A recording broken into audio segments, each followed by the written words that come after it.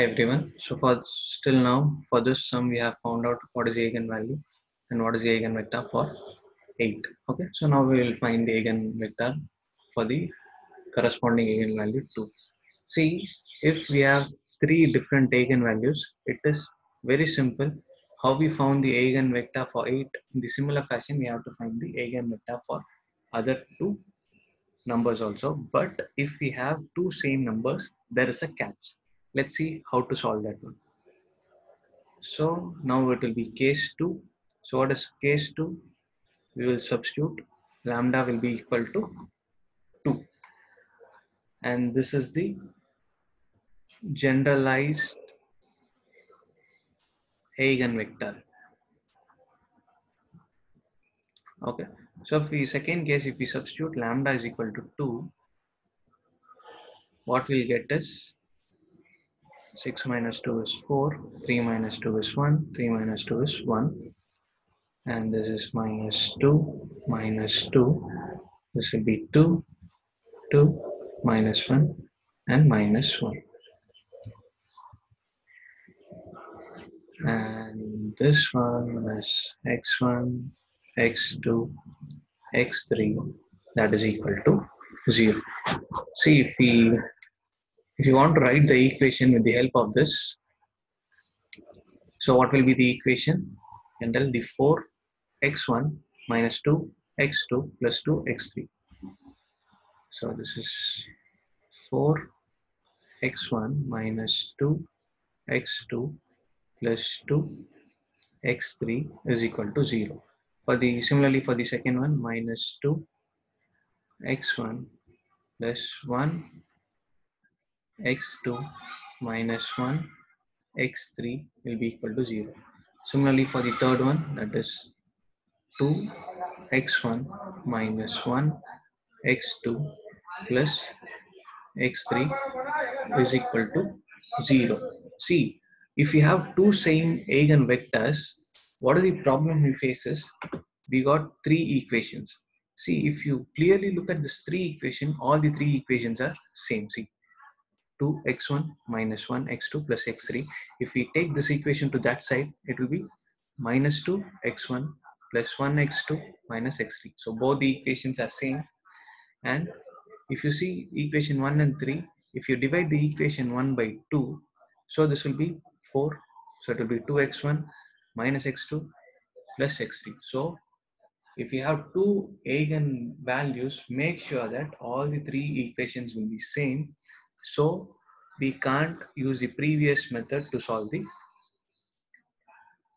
eigenvector. So what we have to do, you just take one of the simple equations. So what we'll do, we'll take this equation because all the three equations are same. So we can write it as 2x1 minus x2 plus x3 is equal to 0. So make sure all the positive terms are in one side, we'll take the negative term to the another side. So if we take x2 to the that side, it will become plus x2 that will be equal to 2x1 plus x3. Okay. So in this case, we can assume any one of the values as 0. Then only we can find the eigenvector. So to make it simpler, make this x1 as 0. So let us assume let us assume x1 is equal to 0 okay if if x1 is equal to 0 what will be this equation? x2 will be equal to x3 okay then if x2 is equal to x3 then we can again assume x2 is equal to 1 we can assume x2 is equal to 1 so that also implies x3 is also equal to 1 so we got the eigenvector that is for the second one x2 that will be what is x1 x1 is 0 x2 is 1 x3 is 1 so this is the so this is the second eigenvector okay? If we have three eigenvalues there should be three eigenvectors so there are two twos and the all equations are same but it will be not having the same eigenvectors so we have to find out another eigenvector how to find the another eigenvector is so we have to take one equation from this and another equation from the eigenvector so how we can write for finding the third eigenvector for finding third eigenvector we can use this equation because all the three are same. So we can write it as 2x1 minus 1x2 plus x3 equal to 0 another equation will be this eigenvector that is 0 1 1 so how we can write this as 0 x1 plus 1 x2 plus 1 x3 is equal to 0 and we have to solve in the same fashion. So we have to start from this. So this is minus 1 1 1 1 2 0 again we have to end with minus 1 and 1 so how we can write this is we can write it as x1 x2 x3 we have to start from the coefficient of x2 minus 1 1 so this will be minus 1 1 and the coefficient of x3 is 1 1 and for this one is 2 0 and it has to end with the same minus 1 let's check once again. Minus 1 1 1 1 2 0 and minus 1 okay so now we have to solve in the same process that is x1 minus 1 into 1 will be minus 1 and 1 in- so minus of 1 into 1 is 1 and next will be that is equal to x2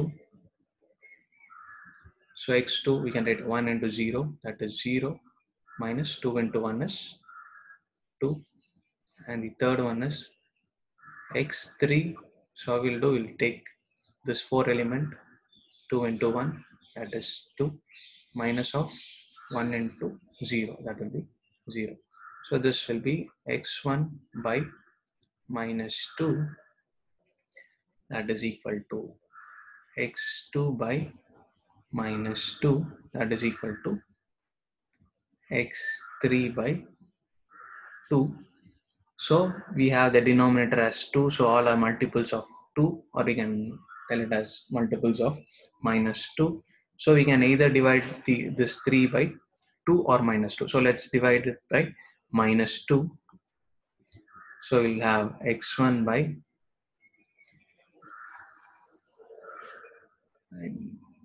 minus 2 uh, dividing the denominator by minus 2 so minus 2 by minus 2 will be 1 this will be 1 and this will be minus 1 so we know what is the third eigenvector. So third eigenvector is x3 that is equal to 1 1 1 see there is no problem. Eigen value will be same. Eigenvector can be anything. See if we divide this by 2 we can get minus 1 minus 1 1 that is also right. We can write this as 1 1 minus 1 or we can write it as minus 1 minus 1 and 1 see one of the main thing in this is result. How do you present your result? So always what you do? You just write the result make a box and write the eigenvalue of the vectors. The eigenvalues of the vectors are you can write it as 2 2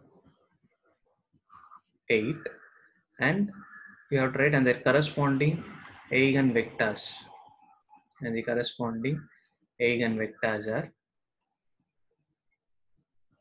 what was the eigenvectors for this? It is 0 1 1 and 1 1 minus 1 for this one will be 0 1 1 and this one will be 1 1 minus 1 and for 8 we have found out in the previous video that was 2 minus 1 and 1 so these are the eigenvectors 2 2 2 and the corresponding eigenvalues. That is 0 1 1 1 0 1 1 and for the second two it is 1 1 minus 1 and for 8 it is 2 minus 1 and 1 see matrix is the very important unit and you can easily score good marks in matrix. So this is why most of the people get pass mark in mathematics. So please concentrate on this so first we have to find the eigenvalue. If three eigenvalues are different the sum is super cool. We can find out in the same way how we found out for 8 if it is having similar values and one is different you start with the different value first. And for the same value these are the steps. So we'll get only one equation.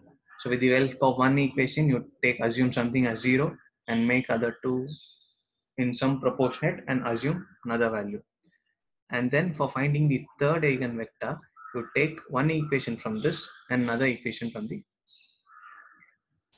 eigenvector. So we can all easily find this. So most probably what they will do, we, if there are three different eigenvalues, we can solve easily. So what in the semester and all they will do is they will give this kind of problem so that what happens, we can easily solve this, but without understanding the concept, it is difficult to solve two by two. So this is one of the important question. So just have a look. If you have any doubt, you can mention the doubt below. Okay. Make sure you just present your answer very neat and clean. You just write result. The uh, eigenvalues matrix eigenvalues are 2, 2, 8 and the corresponding eigenvectors are 0, 1, 1, 1, 1 minus 1, 2 minus 1, 1. So write the corresponding eigenvectors below the eigenvalues. Okay. So that's all for today. Thank you.